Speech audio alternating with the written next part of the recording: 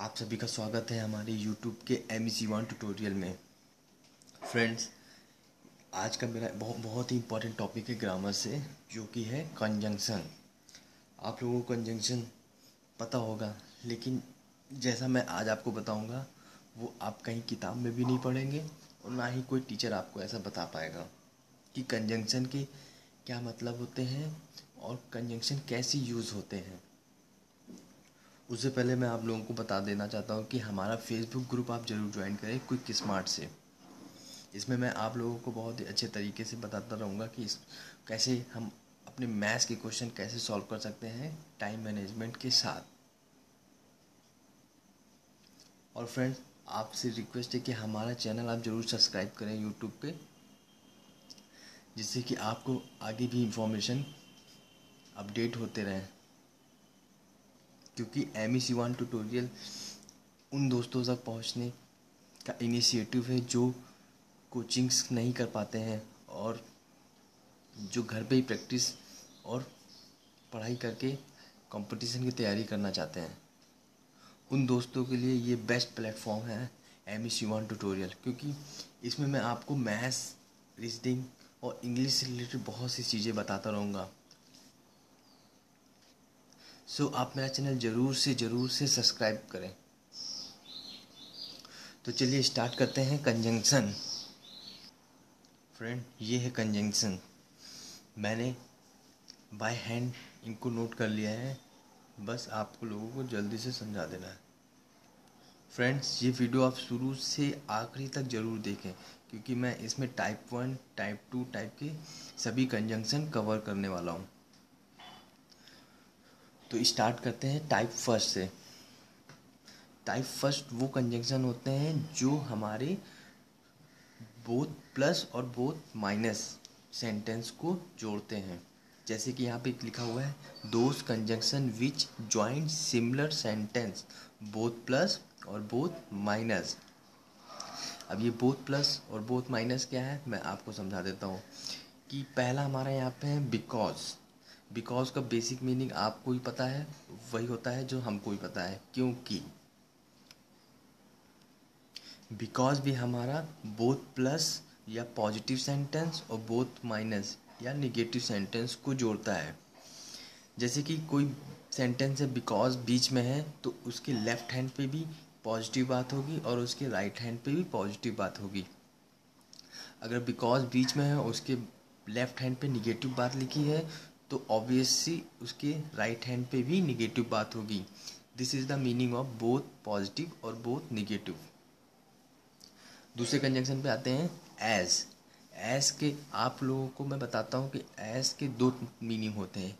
के समान, के तरह जैसे यहाँ पे एग्जांपल देखिए Anil is as my brother तो इसकी हिंदी क्या हुई? अनिल मेरे भाई की तरह है।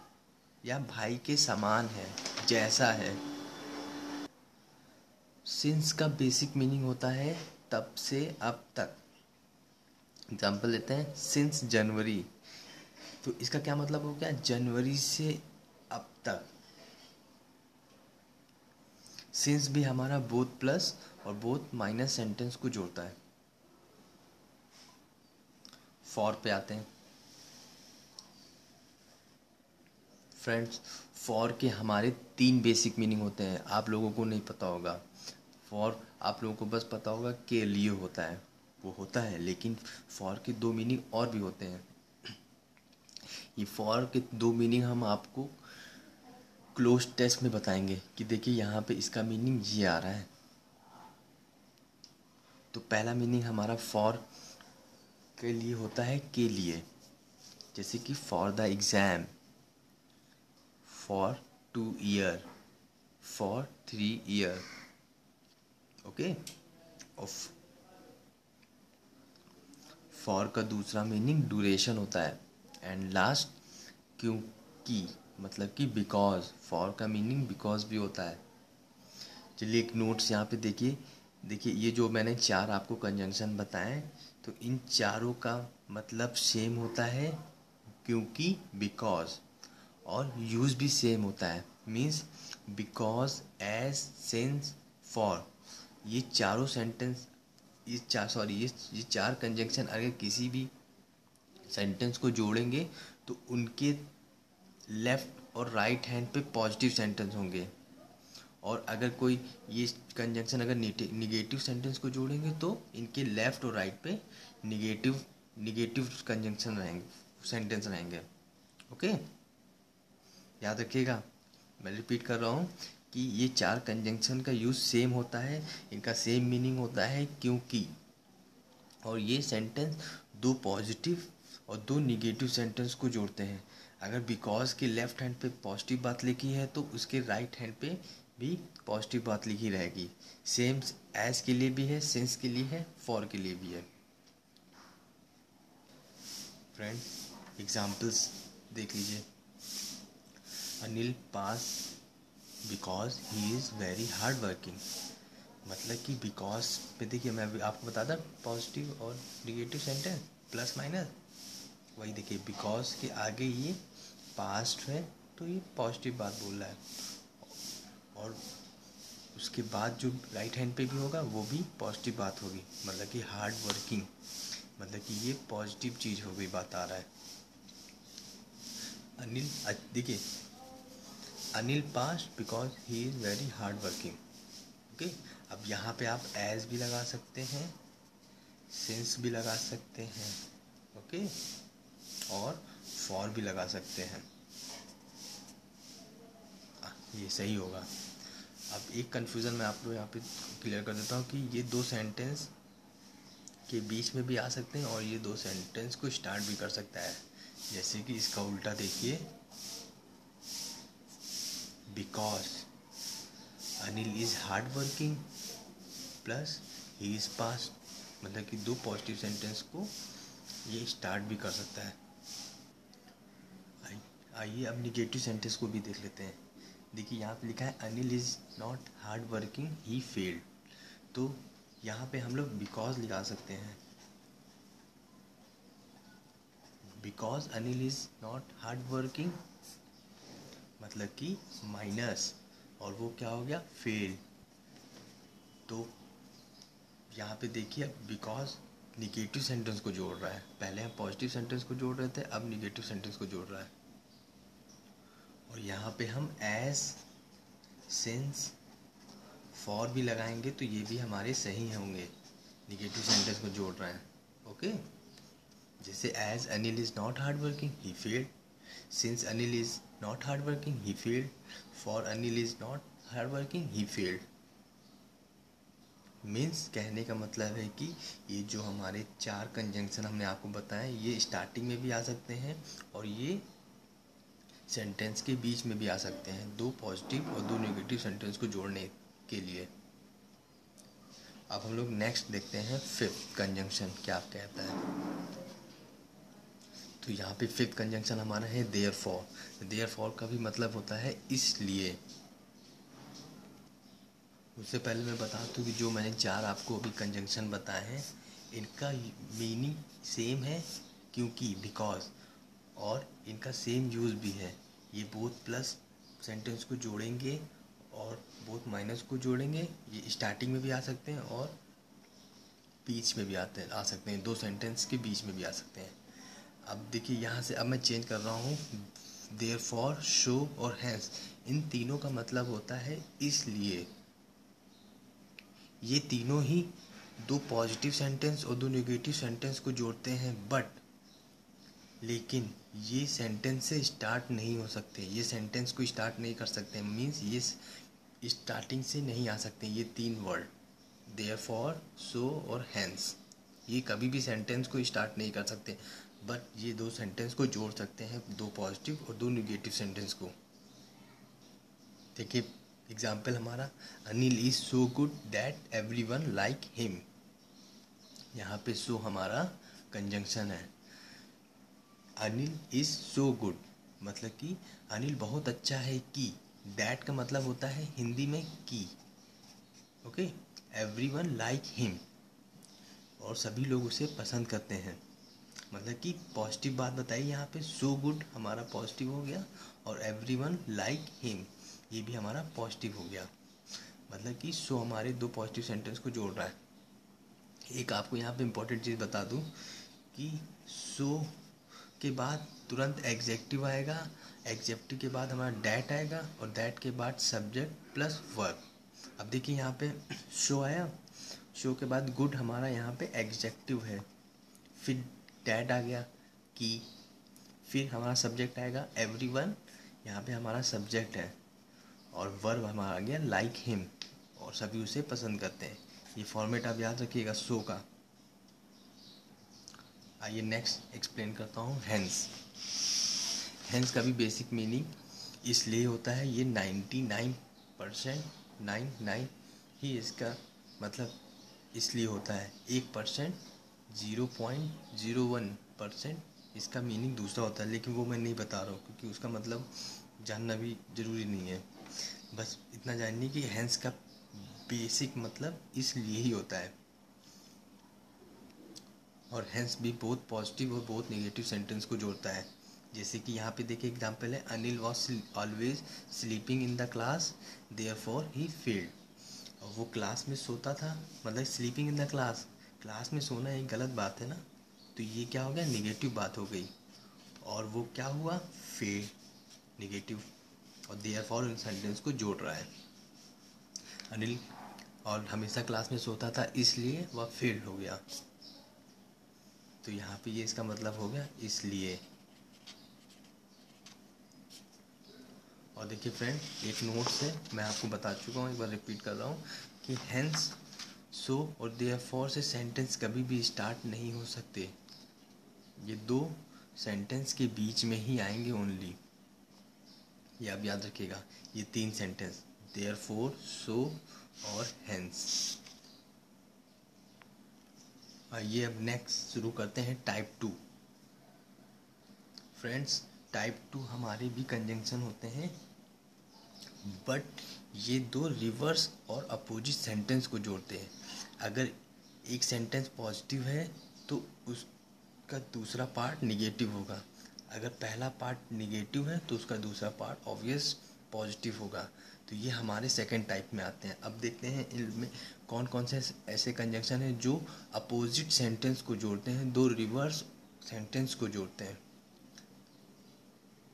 इसमें पहला है दो और उसका बड़ा भाई ऑल दो। मतलब सेम होता है यद्यपि हालाँकि।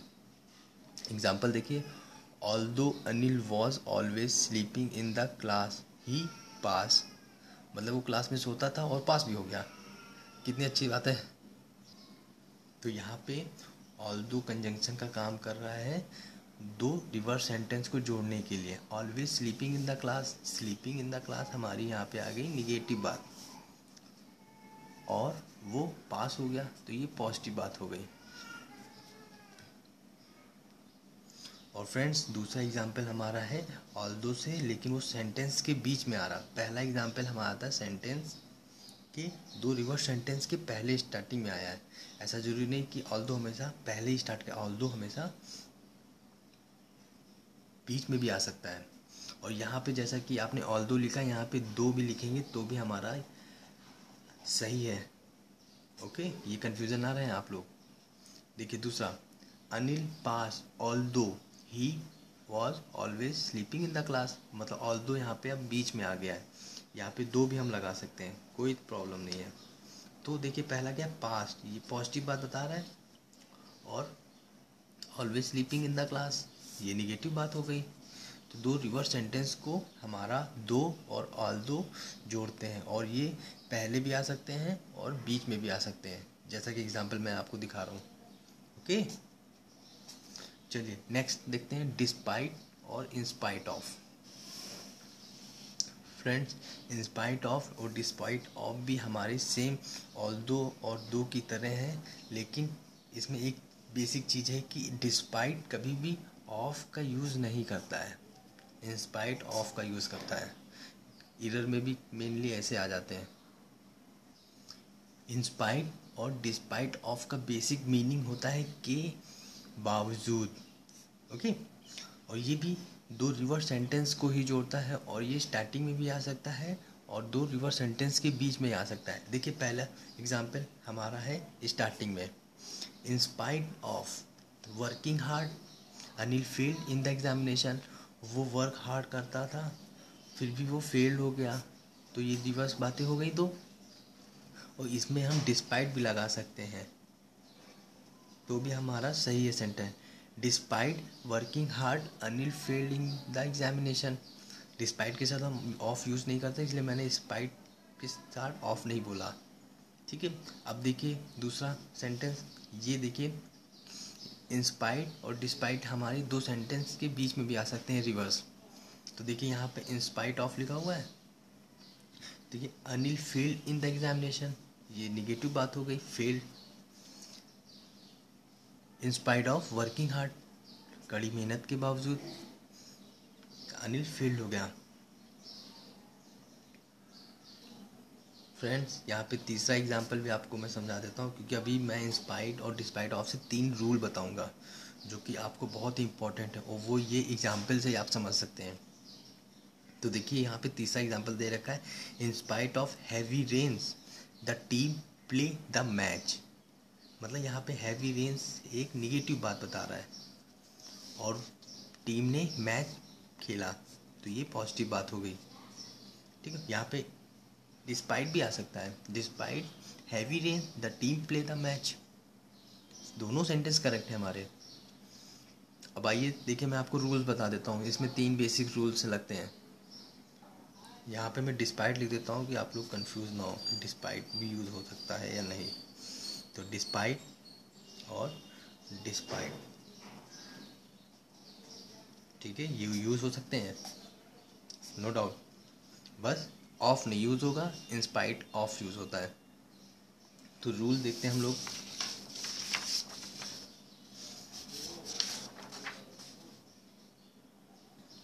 फ्रेंड्स मैं रूल्स आपको डिक्टेट कर रहा हूँ। आप लोग नोट कर लीजिए। पहला रूल आप देखिए इंस्पाइट ऑफ़ डिस्पाइट वाले सेंटेंस में या तो वर्ब आएगा या सब्जेक्ट आएगा। दोनों एक साथ नहीं आ सकते।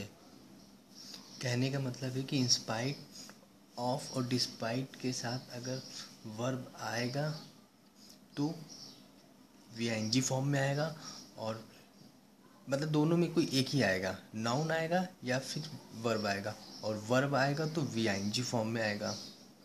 दूसरा रूल लिखिए इंस्पाइट ऑफ़ और डिस्पाइट में अगर वर्ब आएगा तो V I N G form में आएगा ओके तो एक ब्रैकेट में अंदर छोटे से लिखिए in spite of plus V I N G और despite plus V I N G ये आप ब्रैकेट बना के क्लोज कर दीजिए। ये देखिए एग्ज़ाम्पल देखिए यहाँ पे वर्किंग मतलब कि in spite of V I N G form हमारा आ गया। और ये हमारा हार्ड, हमारा एडवर्ब बता रहा है कि वर्किंग हार्ड करता था। वी एन जी फॉर्म में आ गया। और ये देखिए हमारा in spite of heavy rains. Rains हमारा यहाँ पे क्या है? नाउन। मैंने बताया ना अभी कि अगर वर्ब आएगा तो वी एन जी फॉर्म में आएगा और अगर नाउन आएगा तो सिंपल नाउन आ जाएगा। In spite of noun, verb gap हो जाएगा। और जब वर, वर्ब आएगा तो नाउन गैप हो जाएगा। अब देखिए यहाँ पे आपने in spite of working hard comma लग गया, एक सेंटेंस कंप्लीट हो गया इधर इनकम्प्लीट है।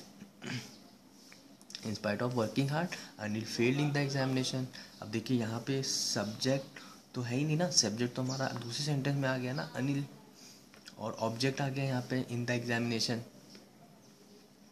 तो बस यही आपको मेनली बताना था कि इंस्पाइट और डिस्पाइट के बाद अगर वर्ब आएगा तो V I N G form में आएगा और नाउन गैप हो जाएगा वहाँ से। अगर नाउन आएगा तो वर्ब गैप हो जाएगा। तो यहाँ पे देखिए नाउन आया है हमारा और वर्ब गैप हो गया। और चौथी मेन इंपॉर्टेंट बात कि ये हमारे इनकम्प्लीट सेंटेंस के बीच में ही आते हैं। मतलब कि वर्ब रहेगा तो नाउन गैप हो जाएगा नाउन रहेगा तो वर्ब गैप हो जाएगा। और इसी का सेम उल्टा हमारा दो और ऑल दो के साथ होता है। मतलब सेम उल्टा कंडीशन है कि वो दो कंप्लीट सेंटेंस के बीच में ही आते हैं। अब देखिए यहाँ पे ऑल दो दो में, यहाँ पे वर्ब और हेल्पिंग वर्ब हमारे सब साथ में है। वर्ब है नाउन है, सब साथ हैं। और लेकिन यहाँ पे अलग अलग है वर्ब वर्ब आया तो नाउन गैप हो गया। और यहाँ पे नाउन आया तो वर्ब गैप हो गया। बस ये चीज़ें इंपॉर्टेंट आपको बतानी थी हमें। नेक्स्ट सेंटेंस है हमारा conjunction however however का भी हमारा बेसिक मीनिंग होता है, यद्यपि हालाँकि ये भी दो रिवर्स सेंटेंस को जोड़ता है। इसका बेसिक मीनिंग यद्यपि हाला भी होता है और दूसरा मीनिंग होता है, इतना सब होने के बाद भी। देखिए एग्ज़ाम्पल क्या है? Anil was always sleeping in the class however he pass मतलब वो अनिल क्लास में सोता था और वो पास भी हो गया। हाउ एवर ठीक है? पास के नीचे हम यहाँ पे प्लस लगा देंगे और sleeping in the class negative बात बता रहा है। और उनके सेंटेंस के बीच में हमारा हाउ वेयर आया है। कंजंक्शन का काम कर रहा है। दो सेंटेंस को रिवर्स सेंटेंस को जोड़ रहा है। और फ्रेंड्स यहाँ पे एक नोट डाल के लिख लीजिए अपने नोट्स में कि हाउ कभी भी रिवर्स सेंटेंस के स्टार्टिंग में नहीं आ सकता है। हमेशा रिवर्स सेंटेंस के बीच में ही आएगा। मतलब कि हाउएवर दो रिवर्स सेंटेंस के बीच में ही आ सकता है। तो इससे एक आपको आइडिया लग जाएगा, अगर आप पैरा जंबल कर रहे हैं और पैराग्राफ में कोई भी दे रखा है, वो हाउवेयर से स्टार्ट कर रखा है ए बी सी डी में। तो वो आप समझिए ये हमारा फ़र्स्ट सेंटेंस बिल्कुल भी नहीं हो सकता है। इससे पहले कोई पॉजिटिव बात हो रही होगी या निगेटिव बात हो रही होगी? क्योंकि हाउवेयर हमारा दो रिवर्स सेंटेंस को जोड़ता है। ठीक है? ये आप याद रखिएगा। भूलिए नहीं। नेक्स्ट कंजंक्शन हमारा है बट बट भी हमारा दो रिवर्स सेंटेंस को जोड़ता है। ठीक है? बट के अगर एक साइड पॉजिटिव बात है तो दूसरी निगेटिव होगी। अगर दूसरी बात, पहली बात निगेटिव होगी तो दूसरी बात पॉजिटिव होगी। ठीक है, ये भी हाउवेयर जैसा ही है। बिल्कुल आप इसको समझ लीजिए। मैं आपको क्लोज टेस्ट में यही, ऐसे ही बताऊँगा कि हाँ बट आया तो इससे पहले पॉजिटिव बात हो रही होगी और उसके बाद अब निगेटिव बात होगी। बट भी हमारा दो रिवर्स सेंटेंस को जोड़ता है और उनके बीच में ही आता है। जैसे Anil came to Sunil house but could not met him Anil Sunil के घर आया मतलब ये पॉजिटिव बात हो गई, और but could not meet him और यहाँ पे ये निगेटिव बात बता रहा है। दूसरा हमारा है येट येट का बेसिक मीनिंग होता है, फिर भी इतना सब होने पर भी। देखिए एग्ज़ाम्पल है Anil try his best yet could not pass could not pass हमारा निगेटिव है और वो बेस्ट ट्राई अपना कर रहा है, वो पॉजिटिव बात बता रहा है और ये दो रिवर्स सेंटेंस को जोड़ रहा है। मतलब इसका हिंदी मीनिंग हो गया, अनिल ने पूरी कोशिश की, फिर भी पास नहीं हो पाया। ओके अब नेक्स्ट हमारा है nevertheless nevertheless का भी बेसिक मीनिंग फिर भी होता है, ये भी दो अपोजिट सेंटेंस को जोड़ता है। नेवर द लेस देखिए, बीच में आया। पास्ट पॉजिटिव बात है और स्लीपिंग इन द क्लास हमारी निगेटिव बात है। आइए, अब हम लोग अपना नेक्स्ट कंजंक्शन सेंटेंस बताते हैं। नन द लेस इसका भी बेसिक मीनिंग होता है, फिर भी। ओके देखिए Anil was always sleeping in the class nonetheless he pass तो यहाँ पे ये पॉजिटिव बात बता रहा है और sleeping in the class is negative और इन दोनों सेंटेंस रिवर्स को जोड़ रहा है नन द लेस ओके अब बेसिक इंपॉर्टेंट है यहाँ पे इंस्टेट ऑफ़ इंस्टेट ऑफ़ में मैं आपको एक इंपॉर्टेंट रूल बताऊँगा। इंस्टेंट ऑफ़ का मतलब होता है के बजाय।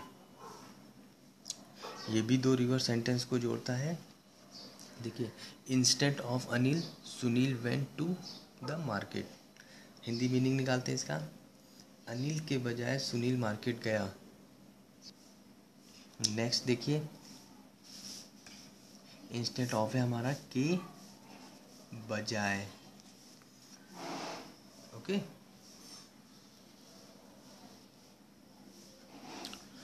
तो दूसरा देखिए instead of France Anil went to Germany मतलब कि फ्रांस के बजाय अनिल जर्मनी चला गया। ओके अब ये यहाँ पे एक रूल लिख लीजिए। इंस्टेंट ऑफ़ के बाद या तो नाउन आएगा या वर्ब आएगा। अगर वर्ब आएगा तो V I N G form में आएगा। ठीक है? इसका एग्ज़ाम्पल देखिए, नीचे देखिए। Instead of going going V I N G form है। To France Anil went to Germany ठीक है? देखिए, यहाँ पे ये सेंटेंस स्टार्टिंग में आ गया इंस्टेड ऑफ़ अब ये दो सेंटेंस के बीच में आएगा। ये देखिए, दूसरा example Anil went to Germany instead of going to France मतलब हिंदी मीनिंग इसका हो गया। फ्रांस जाने के बजाय अनिल जर्मनी चला गया। तो यहाँ पे ये बीच में आ गया और वर्ब हमारा वी जी में आया। तो बस ये याद रखिए इंस्टेड ऑफ़ के बाद नाउन आएगा या वर्ब आएगा। अगर वर्ब आएगा तो वी एन जी फॉर्म में ही आएगा और किसी फॉर्म में नहीं आएगा। और एक छोटी सी बात कि प्रिपोजिशन के बाद हमेशा ऑब्जेक्ट आता है। और सब्जेक्ट नहीं आता है। आपको प्रिपोजिशन सारे पता ही होंगे, मैं भी आपको बता दूँगा। लेकिन एक बेसिक मीनिंग जान लीजिए कि प्रिपोजिशन के बाद ऑब्जेक्ट आता है वर्ब सब्जेक्ट नहीं आता है। तो यहाँ पे ऑफ़ हमारा प्रिपोजिशन है तो उसके बाद हमारा वर्ब आएगा तो V I N G form में आएगा। ठीक है? हम अब आगे भी आपको बताते रहेंगे इसके बारे में। प्रिपोजिशन बस इतना याद रखिए कि प्रिपोजिशन के बाद ऑब्जेक्ट आता है। वर्ब आएगा तो V I N G form में आएगा। तो ये V I N G form में आया, यहाँ पे। गोइंग ऑफ़ के बाद गोइंग इंस्टेंट ऑफ़ के साथ कभी भी वर्ब और नाउन एक साथ नहीं आ सकते। आएँगे तो दोनों अलग आएँगे। वर्ब आएगा तो नाउन हट जाएगा और वर्ब हमारा V I N G form में रहेगा और जब वर्ब नहीं रहेगा तो नाउन आएगा ओके दोस्तों, ये आपको मैंने पाँच कंजंक्शन बताए। अब मैं आप लोगों को नेक्स्ट हमारा वीडियो रहेगा क्लोज टेस्ट से। एक मैं छोटा सा क्लोज टेस्ट आपको समझाऊँगा कि कैसे इनका यूज़ करके हम अपने आंसर तक पहुँचते हैं। तो मैंने, अगर आप लोगों ने मेरा नाउन और एग्जेक्टिव का वीडियो नहीं देखा तो आप उसको ज़रूर देख लें। और ये वीडियो हमारा कंजंक्शन भी हमारे क्लोज टेस्ट में हेल्प करेगा। फ्रेंड एक छोटी सी बात मैं बता दूँ कि इंग्लिश हमारी जो ग्रामर है, वो सब्जेक्ट वर्ब से ही आंसर निकलता है। आपको मेनली ये चीज़ें पकड़नी चाहिए कि सब्जेक्ट कौन सा है वर्ब कौन सा है हेल्पिंग वर्ब कौन सा है मेन वर्ब कौन सा है।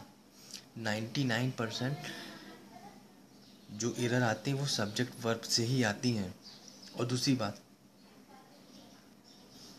इंग्लिश कुछ लॉजिक से होती है और कुछ ग्रामर का पार्ट होता है। अभी मैं आपको आगे भी बताऊँगा कैसे लॉजिक पार्ट काम यहाँ पे कर रहा है और कैसा यहाँ पे ग्रामर का पार्ट काम कर रहा है। ओके चलिए दोस्तों, ये आज का मेरा वीडियो आप लोगों को कैसा लगा? आप लाइक कमेंट ज़रूर करें और आपको चाहे कहीं भी कुछ प्रॉब्लम हो तो हमसे ज़रूर कांटेक्ट करिए और हमसे ज़रूर पूछिए। मैं आपको आप सॉल्व सोल्यूशन तुरंत बताऊँगा। और ये वीडियो आप अपने दोस्तों तक शेयर ज़रूर करें क्योंकि मैं चाहता हूँ कि ये वीडियोस उन तक पहुँचे जो रियली मायने में तैयारी कर रहे हैं और और इस वीडियोस का लाभ उठाएँ। थैंक यू धन्यवाद दोस्तों। लाइक कमेंट ज़रूर करिएगा। बाय